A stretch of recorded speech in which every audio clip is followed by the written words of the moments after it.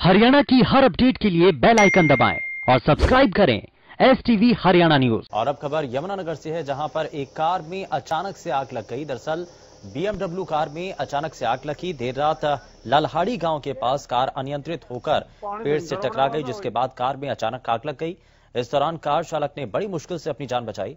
राहगीरों ने मौके पर फायर ब्रिगेड की टीम को सूचित किया, लेकिन जब तक फायर ब्रिगेड की गाड़ी मौके पर पहुँची, तब तक कार पूरी तरह से जल चुकी थी। ये अभी आग लगी इस गाड़ी में?